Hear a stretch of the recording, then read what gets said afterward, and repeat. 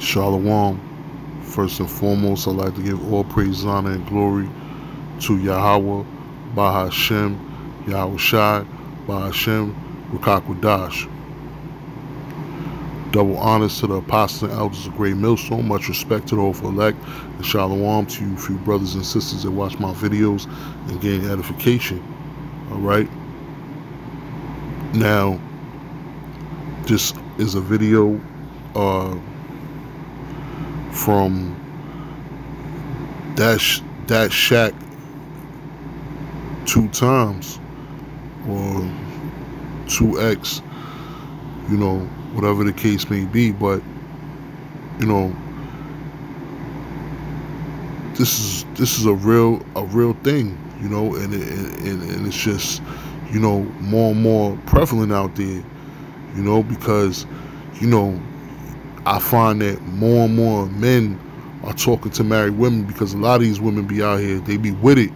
You know, they be with having, you know, uh, affairs and things of that nature, you know, adulterous entanglements and things of that nature, you know. But at the end of the day, you do something like that, the Most High might put the spirit on your husband, you know, to put you to death and put that man to death, all right? Because you know at the end of the day it's unlawful all right? But the scriptures say that we shall be an adulterous nation all right? But in no way shape form or fashion are you supposed to go out there and talk to another man's woman you know? You're supposed to court another man's woman you know have sex with another man's woman and it's it's bad enough, you know, the scriptures, you know, speak speak about it.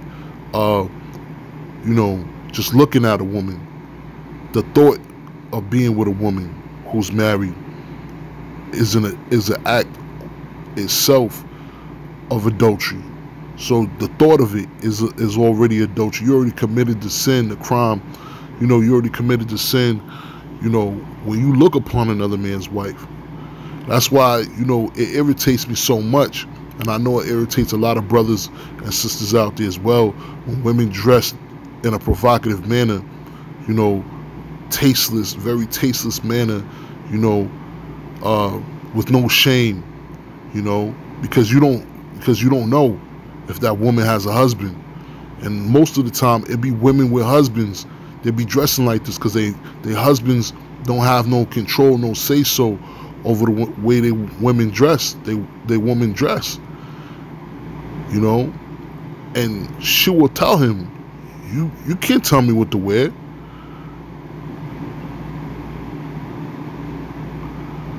So a lot of these women are out of order. They will not listen to their husbands. They will not listen to the Lord, but they don't have that fear, and they and, and they out of order. All right.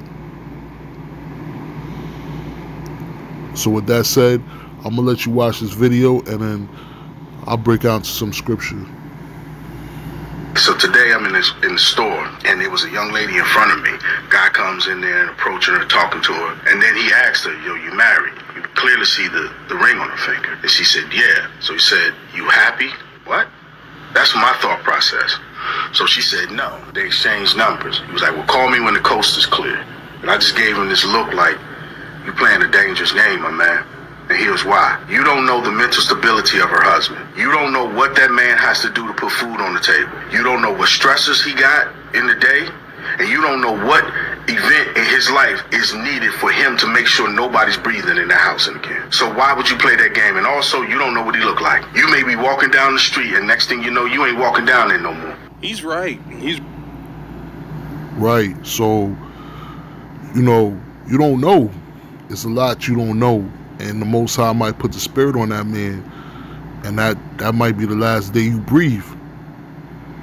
You know, and it's a lot of that going around, and that's why a lot of judgment is going out, and people asking, well, why why is this happening? Why is that happening? Because you you you because he's an adulterer. You know what I'm saying? He there's certain men out there that prey on married women they feel like it's a turn on, it's a challenge to go after someone that's already accounted for, that's already taken. All right? And they feel like it's it's some type of game, it's it's some type of flex, or you know, they get to brag about, oh, I, I took your took your woman, or I did this with your woman. You you even hear it in the music, you know. Certain rappers brag about, you know, rappers and uh, you know it's it's a lot of rappers. Tupac he bragged about you know sleeping with another man's wife. What type of flex is that? What type of lower vibration is that? Flex is that? And you sitting there talking about you're, you're, you're bragging about sleeping with another man's wife, defiling another man's wife, another man's woman. All right. That is that is not that is not a flex, all right? And the scriptures speak about it. You will be put to death. You need to turn back from your ways and repent, or you will be put to death. That's a that's a that's a crime punishable punishable Salakia punishable by death. All right. So let's go into some scriptures and filter this out. Because Proverbs 6 and 32 reads, But whoso committeth adultery with a woman lacketh understanding. He that doeth it destroyeth his own soul. All right. So when you when you commit adultery with with another man's with another man's woman, you always got to look over. You got to sneak around. You got to look. You got to look over your over your shoulder. You got to. You always got to be. You know. It's just. It's nerve wracking because you don't know when this man gonna come. You don't know. You don't know what's gonna happen. All right. This is Matthew 5 and 28. But I say unto you that whoever so looketh on a woman to lust after her has committed adultery with her already in his heart. So you look upon, and this goes back to what I said earlier, you look upon a woman and, you know, lust after her, even, even if you didn't know that she was married, you still committed adultery because you looked on her, all right? And that's what, you know, gets you know that's what frust- is frustrating about this because you you forced to live in a world where women are given certain liberties to dress any type of way they want in a provocative manner that entices you all right as a man we we, we naturally have have urges all right and you dress in a provocative manner and it entices it entices us to look upon you all right whether we want to or not you force it on us all right, and that's what a lot of these women do. They dress in a provocative manner, and they, and you know, it forces it on us.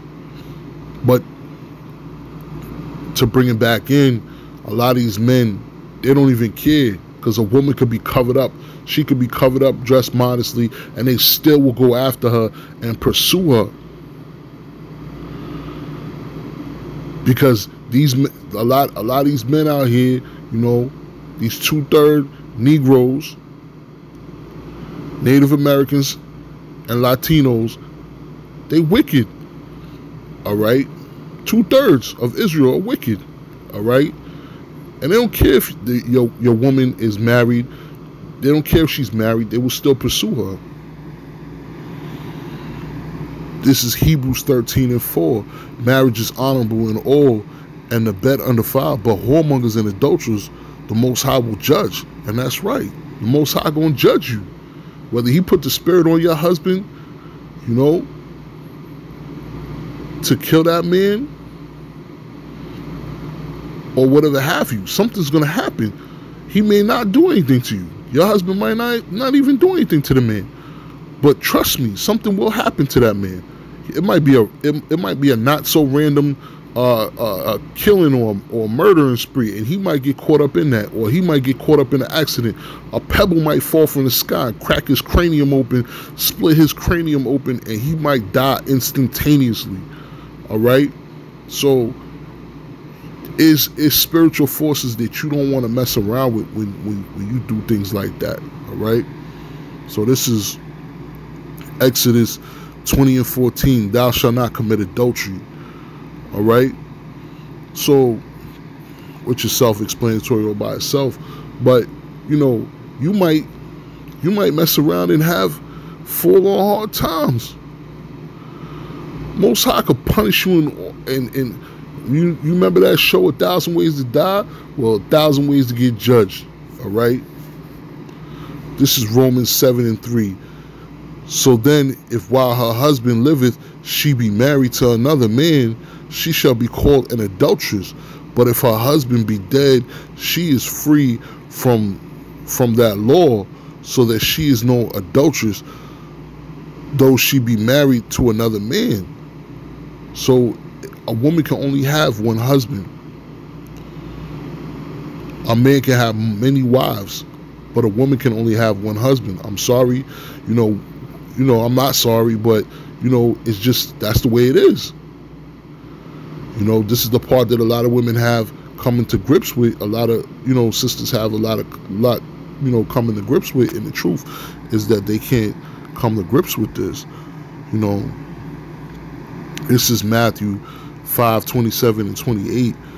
Ye have heard that it was said by them of old time, Thou shalt not commit adultery. But I say unto you that whosoever looketh on a woman to lust after her has committed adultery with her already in his heart.